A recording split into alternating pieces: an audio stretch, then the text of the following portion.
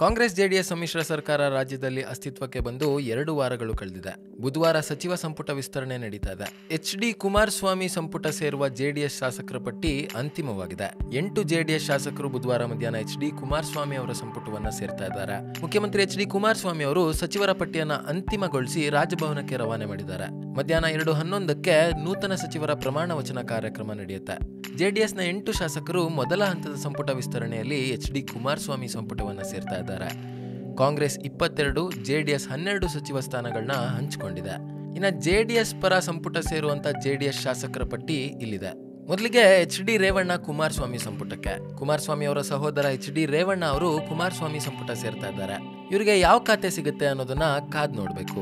ಎರಡನೇದಾಗಿ G T ದೇವೇಗೌಡರು. ಮೈಸೂರಿನ ಚಾಮುಂಡೇಶ್ವರಿ ಕ್ಷೇತ್ರದ ಶಾಸಕ ಜಿ ಟಿ ದೇವೇಗೌಡ ಅವರು ಎಚ್ ಡಿ ಕುಮಾರಸ್ವಾಮಿ ಸಂಪುಟವನ್ನು ಸೇರ್ತಾ ಇದ್ದಾರೆ. ಇವರು ಸಿದ್ದರಾಮಯ್ಯನವ್ರನ್ನ ಮೂವತ್ತು ಸಾವಿರ ಮತಗಳ ಅಂತರದಿಂದ ಸೋಲಿಸಿದ್ರು. ಇನ್ನು ರಾಯಚೂರು ಜಿಲ್ಲೆಯ ಸಿಂಧನೂರು ಕ್ಷೇತ್ರದ ಜೆಡಿಎಸ್ ಶಾಸಕ ವೆಂಕಟರಾವ್ ನಾಡಗೌಡ ಅವರು ಸಚಿವರಾಗಿ ಎಚ್ ಡಿ ಕುಮಾರಸ್ವಾಮಿ ಸಂಪುಟ ಸೇರ್ತಾ ಇದ್ದಾರೆ. ಇವರು ಕುಮಾರಸ್ವಾಮಿ ಅವರ ತಂದೆ ಎಚ್ ಡಿ ದೇವೇಗೌಡರ ಆಪ್ತ ವಲಯದಲ್ಲಿ ಗುರುತಿಸಿಕೊಂಡಿದ್ದವರು. ಇನ್ನ ಸಿ ಎಸ್ ಪುಟ್ಟರಾಜು ಅವರು ಕೂಡ ಸಂಪುಟಕ್ಕೆ ಸೇರ್ತಾ ಇದ್ದಾರೆ. ಮಂಡ್ಯ ಜಿಲ್ಲೆಗೆ ಸಚಿವ ಸ್ಥಾನ ಸಿಕ್ಕಿದೆ. ಮೇಲ್ಕೋಟೆ ಕ್ಷೇತ್ರದ ಶಾಸಕ ಸಿ ಎಸ್ ಪುಟ್ಟರಾಜು ಅವರು ಸಚಿವರಾಗಿ ಎಚ್ ಡಿ ಕುಮಾರಸ್ವಾಮಿ ಸಂಪುಟ ಸೇರ್ತಾ ಇದ್ದಾರೆ. ಇನ್ನು ಎಚ್ ಡಿ ಕುಮಾರಸ್ವಾಮಿ ಅವರ ಸಂಪುಟಕ್ಕೆ ಕಾಶೆಂಪೂರ ಅವರು ಕೂಡ ಸೇರ್ತಾ ಇದ್ದಾರೆ. ಎಚ್ ಡಿ ಕುಮಾರಸ್ವಾಮಿ ಅವರ ಸಂಪುಟಕ್ಕೆ ಬೀದರ್ ದಕ್ಷಿಣ ಕ್ಷೇತ್ರದ ಶಾಸಕ ಬಂಡೆಪ್ಪ ಕಾಶೆಂಪೂರ ಅವರು ಸೇರ್ತಾ ಇದ್ದಾರೆ. ಇವರು ಕುಮಾರಸ್ವಾಮಿ ಹಾಗೂ ದೇವೇಗೌಡರು ಇಬ್ಬರಿಗೂ ಆಪ್ತರು. ಉತ್ತರ ಕರ್ನಾಟಕ ಭಾಗದಲ್ಲಿ ಜೆಡಿಎಸ್ ಪಕ್ಷದ ಪ್ರಭಾವಿ ನಾಯಕರು. ಇನ್ನ ಸಾರಾ ಮಹೇಶ್ ಅವರು ಕೂಡ ಸಂಪುಟಕ್ಕೆ ಸೇರ್ತಾ ಇದ್ದಾರೆ ಮೈಸೂರು ಜಿಲ್ಲೆಗೆ ಎರಡು ಸಚಿವ ಸ್ಥಾನಗಳು ಸಿಗ್ತಾ ಇದೆ. ಕೆಆರ್ ನಗರ ಕ್ಷೇತ್ರದ ಶಾಸಕ ಸಾರಾ ಮಹೇಶ್ ಅವರು ಸಂಪುಟ ಸೇರ್ತಾ ಇದ್ದಾರೆ ಇನ್ನ ಹಾಸನ ಜಿಲ್ಲೆಗೆ ಸಚಿವ ಸ್ಥಾನ ಸಿಕ್ಕಿದೆ.